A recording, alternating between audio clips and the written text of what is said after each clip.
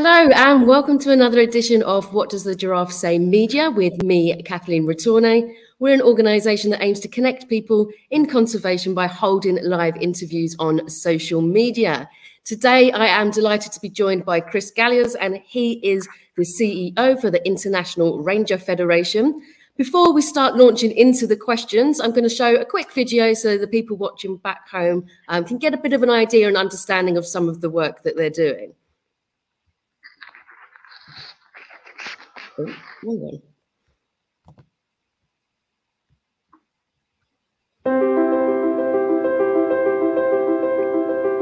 We are rangers. We come from many backgrounds. We live and work all around the world doing many different and often difficult jobs. We may be volunteers, employees, indigenous and local community members, or government officers. We may work as monitors, managers, educators, or defenders.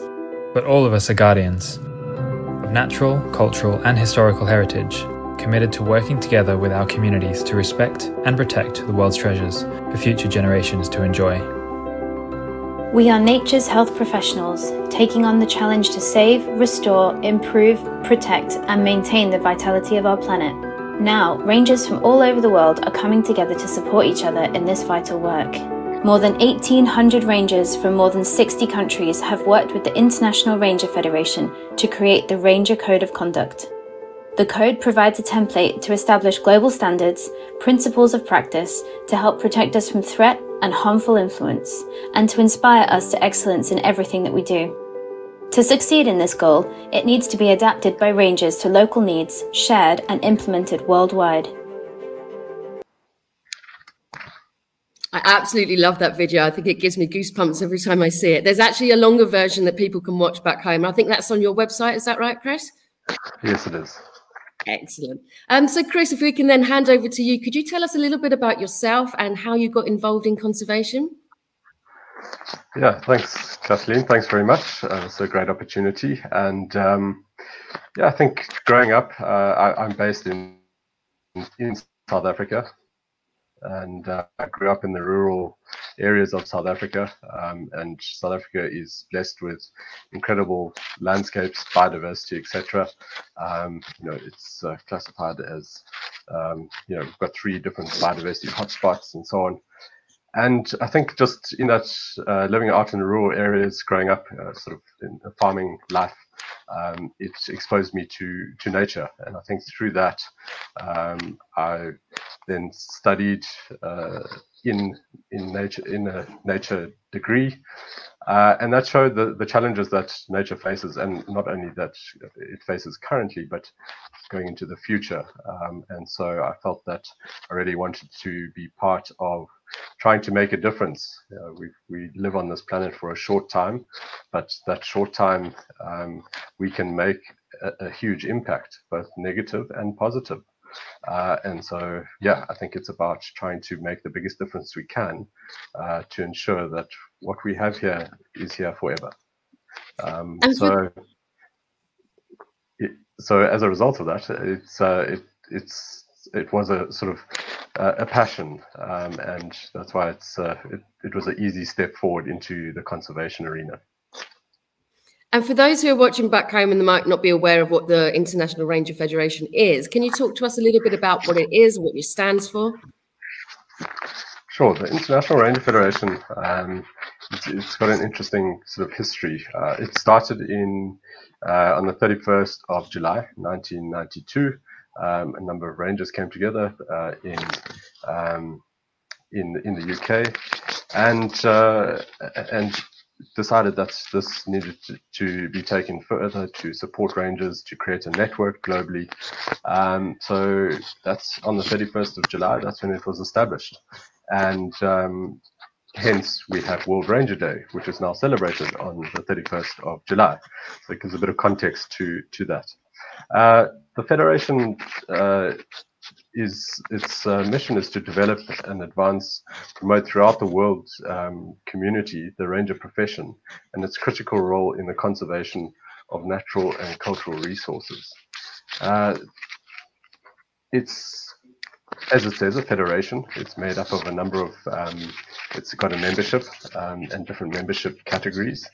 And uh, its structure at the moment, we've got regional associations, uh, ranger associations, and then that goes down to national and then subnational associations. And uh, that allows us to have that global reach and allows us to have that reach really from the from a, high level global perspective right down to a ranger on the ground. Uh, and in so doing, uh, the, the, aim is to be able to allow those rangers that are at ground on the on the front line, um, they have access to that global level, um, so that their voice can be heard. Uh, because uh, rangers by nature are often operating in places that are, are, are quite disconnected, um, and and so communication and you know access to to putting their views and experiences and situations forward are quite difficult and so that's that's where we need to have that sort of direct link uh, from from the ranger um, right on the on the ground level to the to the global level um, the membership structure we've got um, over well close on 80 uh, different uh, well, ranger associations. Uh, they're classified as full members. Uh, we've got provisional members as well. Uh, so th those are ones that are, are in development. Um, we've got over 65 different countries uh, represented as our members. Uh, so yeah, I think the, the, the whole aim of the of the International Ranger Federation is to provide that that voice for rangers, uh, be the global voice for rangers, and that has come through many different uh, areas where we've had the uh, international, um, the, the Ranger Congresses, the World Ranger Congresses that have taken place since the establishment of the International Ranger Federation. And there's been nine of them, uh, and they've taken place in different parts of the world. And that has created and strengthened the sense of community um, of rangers and um, and really it's it's been a, great opportunity for for rangers to share their experiences with rangers and it's possibly a little bit of a cliche to to say that it's a sort of a ranger family um, but but it is. No one understands a ranger better than another ranger. And so that's why it, it, it really is that uh, community of practice that's been developed. And um, it has also strengthened i think the, the the support that rangers can get from other rangers, and uh, it fast tracks learning um, and uh, also allows us to really advance the ranger profession based on the real needs that are coming from the ground up. And you've said before um, in the past, and also uh, it touched on it in the video as well, that rangers are our planetary health frontline workers. Can you kind of detail what you meant by this and, and why they are so important? Yeah, so obviously we we I mean we we still in the, the, the sort of COVID pandemic situation, and uh, that's that really has realized uh, brought a lot of things to the fore over this period. And we had the last World Ranger Congress in 2019 uh, in Nepal, and it was very soon after that that the world just closed up, uh, and obviously that came with huge. Uh, consequences and, and, impacts to, to rangers, uh, to rangers and their families, and the work that they do, the ability to work, the security of their work, etc. Um, and so, you know, that one of the things that came out is, you know, the, the health professions uh, and the, and the sort of focus on the health professions globally as uh, as really being frontline workers um, and essential workers as well. And you've got others, uh, you know, po- uh, police forces and so on um, that are, are, are labeled as essential workers.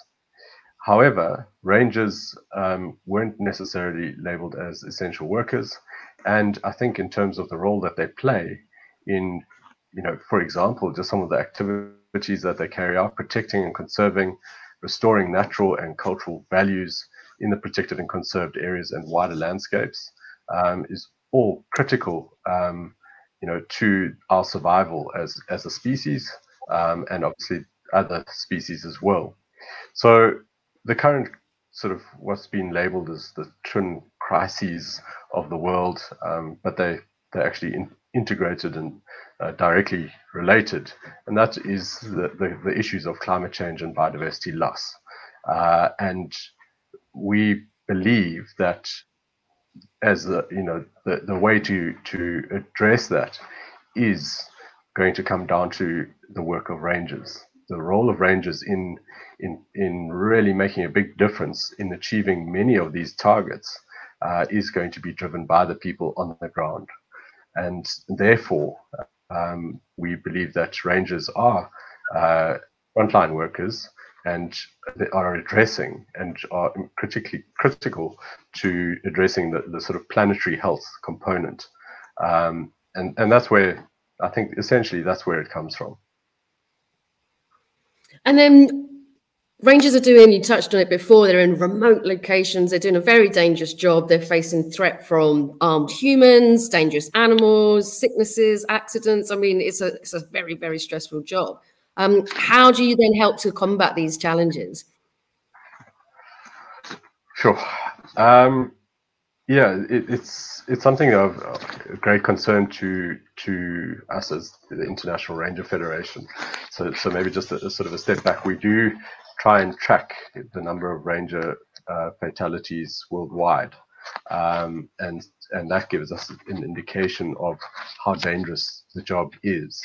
Um, and we are in the process of, you know, we've refining our ability to to track that. Obviously, over time, the challenge with recording ranger deaths, um, some go unreported um, for for different reasons. Uh, so it's and obviously by nature that rangers are in remote places and and not uh, we don't get to hear everything. But from the, the trends that we're seeing, um, it's, it's been very interesting in terms of analyzing um, where how rangers are dying, and it, and it's quite striking uh, in, and um, actually uh, distressing to see what what these are. So, you know, in the in, since 2006 to 2021, uh, we've seen 1,505 rangers uh, killed, and um, that is really tragic. And unfortunately, uh, with that, 42% are actually homicide related. Um, so rangers getting murdered, um, and often you know by poachers or through militia groups, etc. You know, basically criminals who who are, are, killing rangers. That's 42% of their deaths, which is really unacceptable. Um, last year we we lost uh, 126 rangers. Um, again, every ranger death is is really um, one too many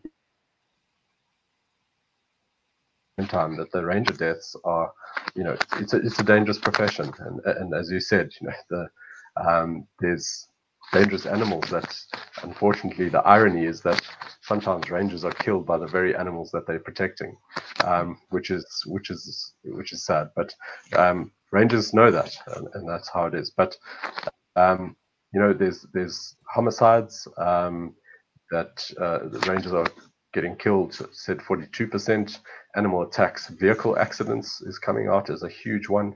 Um, and drownings and, and fire related incidences as well.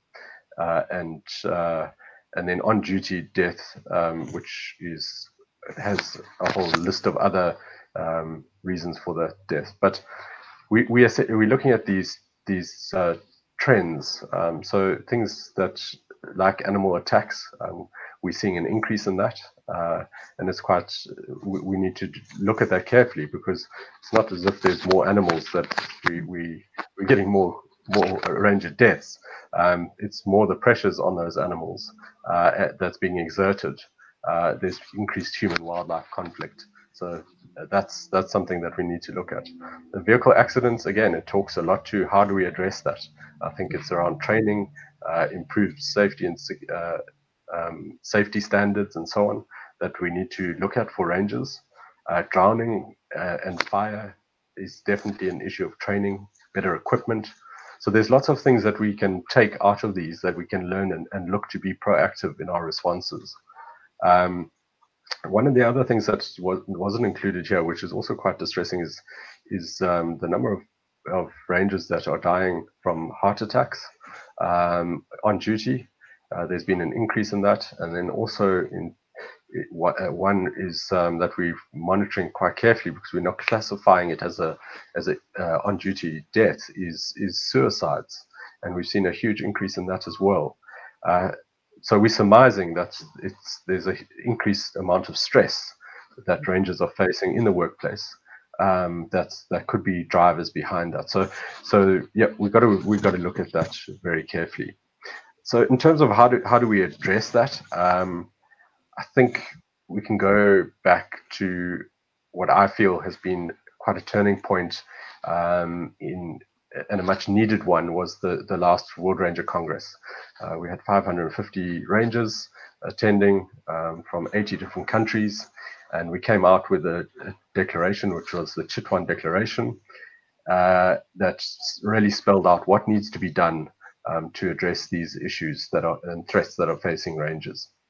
And uh, out of that, uh, we then realized that this is a, a huge task uh, at hand to deal with. It's it's massive and um, certainly not one that uh, just the International Ranger Federation can deal with, and therefore it, we created um, a partnership, the Universal Ranger Support Alliance. Um, so a number of organizations came together uh, and said we need to all work together to support rangers at a global level. Um, and, and how do we do that? And I think um, through that we created the URSA Action Plan, uh, and that has been, I think, a, a huge. Uh, it's expanded our ability to to address things um, that otherwise, as the International Ranger Federation, as an organization, we could never do. So the key taking from there is, is how do we address it? Partnerships are absolutely critical um, to, to helping rangers on the ground. Uh, and and there's many interventions that are required and that we're working on as well. And you know, just like the video said, you know, we've created a code of conduct, um, which is very helpful. Uh, and that's one of the the ways um, interventions that we've got at the moment.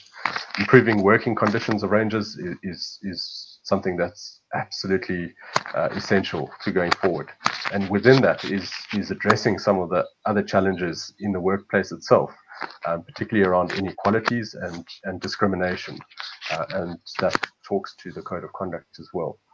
Um, and then the other inequalities in dress, addressing um, representation of, of, female rangers, uh, indigenous and or community rangers.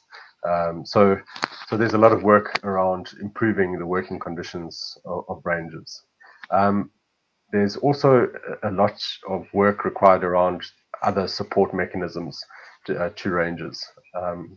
And, uh, and that is a little bit harder, but uh, it certainly plays into the sort of advocacy role that we we have as the IRF um, to really tackle um, at a global level uh, these, these, global organizations um, to to look at uh, strategic interventions that can drive these these whole wholesale changes um, in the system. You know, ones that you don't necessarily think of, the World Bank, for example.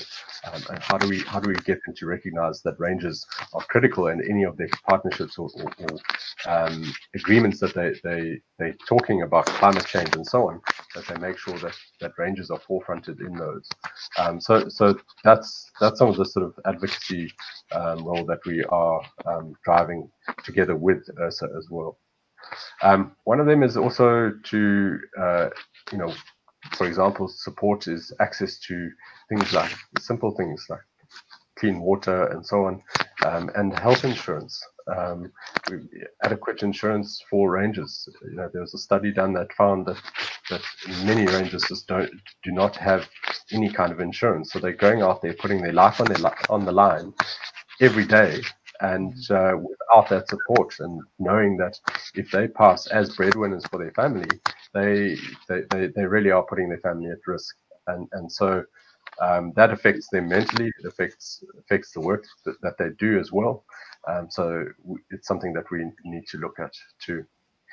Interestingly, I think there's another point which um, we often uh, miss out, and, and one that certainly worries me, uh, is developing the next generation of rangers. Um, it's a massive challenge. We need to get youth inspired uh, to tackle this job. It's, the work of a ranger is not an easy job, uh, and uh, we need we need to get the next generation of rangers to understand the, the incredible value of a ranger and why um, why it's so important. We know that rangers are, you know, unfortunately, you know, work generally uh, under difficult conditions, often in remote areas, and are not necessarily well paid. So it's not necessarily an attractive career, um, but uh, I think it's a it's a rewarding one, and it's one that the world needs. So certainly, it's something that we need to remember is is is developing the the next generation.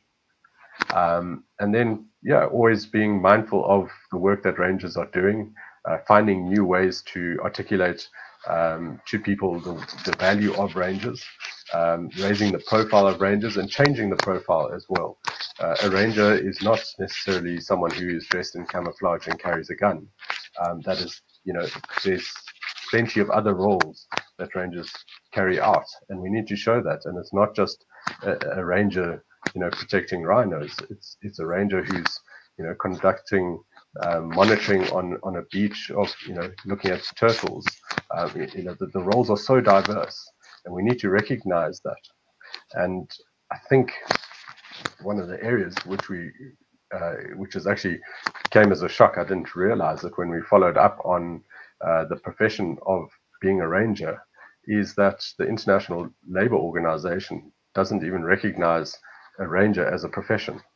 Um, so it, so that's the, something that we really are working towards to get being a ranger recognized as, as a global profession um, because that that has huge ramifications um, in terms of employment uh, standards and so on around the world. So, so yeah, I think um, there's many interventions that um, are, are, required. I think we're looking at finding the best way to address this, um, and yeah, I think there's where the world is today, um, I think it's been very timely to to bring rangers to the fore and raise the profile. We've just had COP uh, 26, the climate change COP, and we've got biodiversity COPs that are taking place. All these global targets are being set, and we know that many of them, uh, if not all of them, have never actually been achieved to date. Um, so we are looking at this and going, well, one of the targets is looking at uh, securing 30% of of the planet's surface area uh, and put it under protection. And at the moment, we are looking at it and going, well, do we have enough rangers? Currently, we don't have enough rangers to deal with the current protected areas and also the, the um, conservation areas uh, how are we're going to do that going forward. So any of these these global plans need to understand that there's a human element to it. Um, you know, wildlife's not going to take care of itself. We have to have the human element there to secure it. And I honestly believe that without rangers and the work that they do, uh, we'd be in a very, very different position to where we are today. So these are some of the big, big questions that are out there and some of the uh, bigger issues that we're looking to address as the IRF. And I mean, you touched on it a, a little bit there just now, um, but do you think that there, there has been a change in attitudes towards the, the work of a ranger and their importance? For example, I know now there's a lot of awards that are around that rangers um, can get entered in and get global recognition and that kind of stuff. Um, do you think that that is helping to make a difference and keeping people motivated? I'd like to think so. Um, I, I, really do, and I think um, you know the, there's so many unsung heroes out there uh, that, um, having been part of these uh, various awards, it's it's always incredibly humbling to to read uh, the work that these people are carrying out. And um, I mean, it, movies should be made about these people in terms of the incredible work that they're doing. Uh, so yeah, I, I, mean, I think I think we're doing every everything we can to to really raise the profile and put put rangers out there, and, and for them to understand that that uh, people value the work that they do. And it might seem mundane to a ranger out there, uh, you know, working really hard, but it's to know that actually there's many many people around the world who are actually supporting that person and thinking and valuing the work that they do. So it's something we got to work harder. Uh, we, we, you know, continually telling the stories of rangers, um, and uh, and I think also, you know, we we we that's part of our membership is drawing from our membership and getting members to talk about their work, to raise the profile of their work, to change the narrative as well. Um, so, yes, I think we, we definitely have a difference has been made, but we far away from where we would like to be. Yeah. And if people are watching back home and they want to be able to support the work that you guys are doing, what's what's some of the ways that they can do this? Yeah, so it really um, from the International Ranger Federation. There's, as I mentioned, there's a whole structure to to the as a federation. We've got ranger associations. Uh, we work across um, uh, seven regions around the world. Uh, so it would be great if people would like to to work with International Ranger Federation. Um, there's we're always looking for volunteers in terms of skills. Um, there's a range of different skills that really can assist. Um, you know, things like media and design, translation, etc. Um, yeah, many of these are not skills that uh, unfortunately we carry within our membership as rangers. Um, so, so we, we need to draw on uh, the support of people who have those skills. Uh, anyone who would like to sort of make a make a donation to to IRF, particularly around equipment, any ideas as well. Um, it'd be really and um, and then if uh, if people would like to also just donate to specific causes as well, as I said, you can contact your the, the ranger associations that are in your region, um, and that is you can look up on our website or get in contact with us directly, and also uh, support uh, projects like the Fallen Ranger Fund. We work uh, with our partner organization, the Thin Green Line Foundation, um, where we try and support rangers, um, families. Uh, in the case of a ranger who dies in the line of duty, uh, we try and do everything that we can to try and provide some kind of support to the families of those rangers um, that have fallen. Um, so, yeah, I think there's a number of ways. Number one, get in touch, have a look at our, our media pages. Uh, we've got social media pages, uh, Facebook, Instagram, and so on. And yeah, get started with the conversation and, and we will engage with you. Yeah, I think it's a very valid point. A lot of time people think it's all just money that people need, but actually it's a lot of different skill sets that people can volunteer their time and their, their special skills too to help you guys. Um, okay, so I've only got one more question left, and then we'll start to wrap up. If you're watching back home and you'd like to put a question to Chris, please then pop it in the comment section, and I will do exactly that for you. Um, so, Chris, I know you've been working in this industry for a while. What's what's your favourite success story? yeah, it's, it's, it's a it's a very interesting question because um, I think uh, in con in conservation. Uh, we, we, we take any win we can. Anything is anything that any gain is classified as a success, um, and and we've got to celebrate those. Uh, but for me, one of I think one of the the greatest things that I've been involved in um, has been uh, working when I, was working as as the chairman of the Game Rangers Association of Africa, and working with rangers there. We were able to set up the first uh, ranger insurance uh, support scheme and it might seem a little bit mundane. It's not. It's not uh, out there in the field. You know, uh, we we do that saving rhinos and elephants and so on. But really, in terms of trying to provide that support to to rangers on the ground, where we were able to get um, an insurance package together that provided uh, life insurance as well as medical support, including evacuation support um, to uh, what's over now a thousand rangers who are getting that over many different countries in Africa. Um, for me, that's that's kind of I think one of the biggest successes that I, have been involved in, all and very rewarding as well um, to know to have rangers who are working, for example, in the Zambezi Valley, 250 rangers who now have medical insurance um, at you know for thirty dollars for the year. Um, it's a small amount, uh, but can make a huge difference. And we have seen it since it started, the impact that it's made, where rangers' lives have been saved, you know, literally through medical evacuation, uh, and then obviously in terms of just having some kind of support. You know, as I said, few rangers are not well paid, uh, and when you know if they if they do any death or disability that takes place, they they're incredibly vulnerable, um, and their families are as well. So so yes, I, I think that that would probably be one of the, the success stories. I love it. I mean, it makes such a difference to their lives just knowing that if something did happen, that then, then you know, they're not in a whole world of trouble. Um, we've got a question coming through from Winnie. Hi, Winnie. Always lovely to see you. Um, if you, she's asking if you had more vehicles, would that help rangers at all, and also keep them safer from poachers? Uh, yeah, I, I mean, sort of equipment uh, uh, and resources are always a, an issue, and I think um, uh, rangers always uh, require increased support, and vehicle support is obviously vital to to in many parts of the world. I mean, in some places it's boats that they need. Um, so you know, um, so yes, I think it does make it would make a, a, a difference. Uh, I mean, you could. It's just uh, and it would probably be across the board, uh, across the globe. Many uh, countries would welcome that uh, uh, additional vehicle support. Um, but I think there's unfortunately, I think there's many other interventions that are required in addition to that one.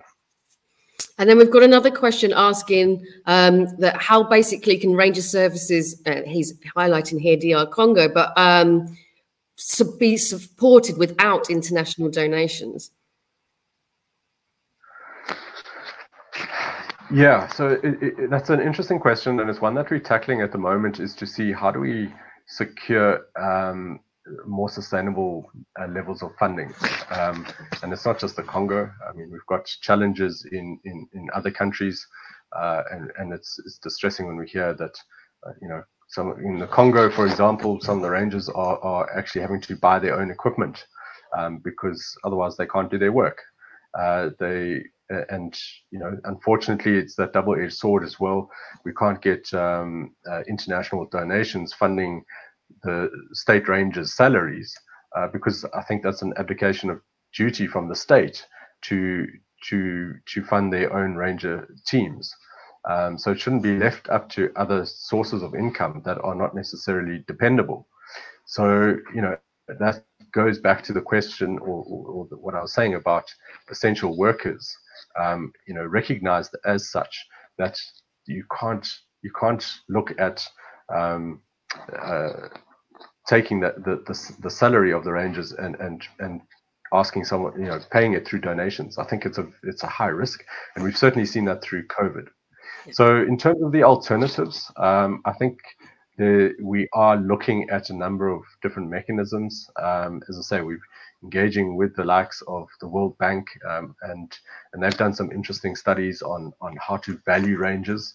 Um, there's a whole sort of the carbon market side, um, and I know that uh, there's work that's been done about uh, the carbon value of, of, of, forest elephants. So, you know, particularly uh, pertinent to to the, the tropical areas of, of Africa, uh, and that's a sort of a, a payment mechanism and it's something that's being explored. That an um, an elephant might be worth 1.7 million dollars um, over its lifetime in terms of its carbon sequestration ability. So, so therefore, you know, we need to look at these alternative options because there's funding that's required for not just state rangers. Uh, there's also community rangers that that also need to get paid, and they're not formally employed. Um, so yes, I think it's a, it's a it's a challenge, um, and it's something that we need to work on ensuring that we we don't end up like COVID, where, for example, too many certainly a lot of places were dependent on foreign tourism um, to to fund their rangers, and when that dried up, uh, the the ability of the rangers to do their work dried up as well. Um, so it it has meant that we need to really look at the funding models, um, probably red, you know, relative to each context, but we do have to develop more robust and resilient uh, funding models. Yeah, I mean, it's such a huge task, but thank you so much for all the work that you're doing. Is there anything that you would like to say before we say goodbye? Uh, just thank you very much um, for for this, and I think uh, thank you too for for hosting uh, so many of uh, the other conservation people, and many of them are rangers. Um, and you know, I, I, think it's really great to get their story. Uh, I know that you had someone like uh, Nacha Jeffrey on the other day, and uh, from Nigeria, and he's doing incredible work. Um, but uh, yeah, I'd just like to say a big thank you to you, and then also obviously a big thank you to all the rangers out there who, who do such incredible work, and a big thank you to their families as well for for allowing them to do that work because it's it's not an easy thing being a family member of a ranger. Um, but uh, yeah, standing behind and supporting the ranger is a is a strong family and um, network that is incredibly important as well. Yeah, completely agree. So, any Rangers who are watching this back home, thank you so much for the work you are doing. And please know that we are behind you and supporting you 100%. Um, so, thank you everyone for watching back home. Thank you, Chris, for coming on. If you've liked the show, please give it a like, comment, or a share. The more people who see it, the more awareness we can raise for conservation and the different organisations that are working within it. Um, but for now, thank you very much and enjoy the rest of your day.